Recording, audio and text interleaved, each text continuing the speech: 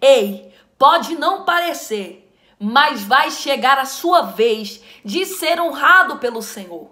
A Bíblia vai estar dizendo que Esté, sobrinha de Mardoqueu, ela é escolhida como rainha.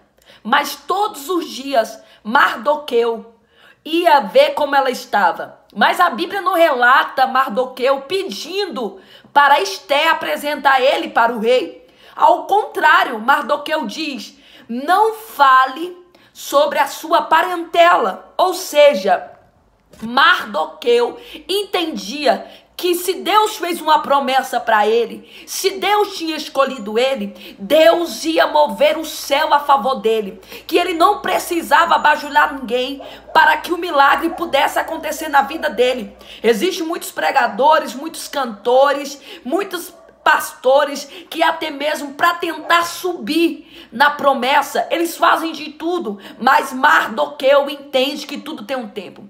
Depois de ele descobrir até mesmo uma morte que dois que servia ao rei queria matar o rei, Mardoqueu mesmo assim se reservou, porque tem um momento e tem a hora de Deus te honrar.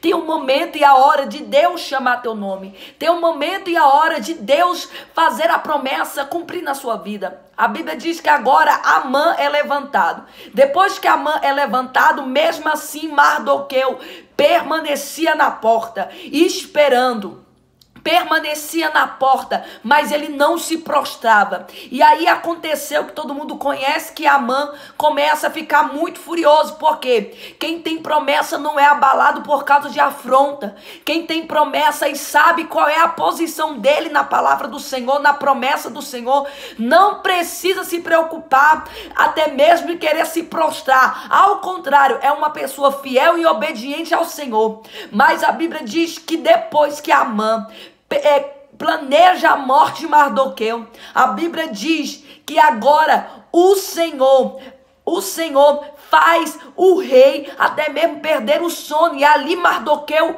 é chamado, é lembrado por Deus. Você pode estar sendo esquecido pelos homens aqui na terra. Mas Deus manda te dizer: eu conheço a sua história, eu conheço a sua vida, eu conheço e vai chegar o tempo de honra. A Bíblia diz que agora o rei fala: o que, que, que aconteceu para este homem ser honrado? Nada.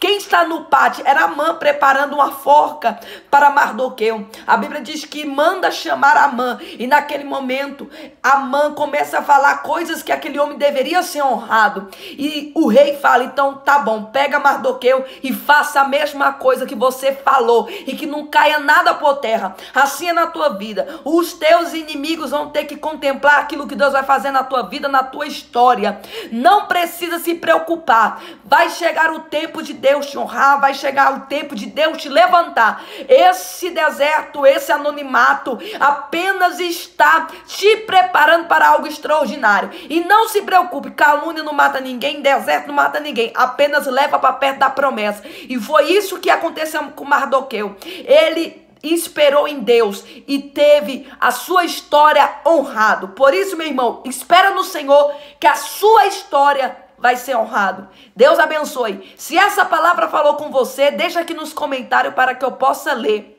E não se esqueça de deixar o like também para ajudar no crescimento do canal. Até a próxima, se Deus quiser.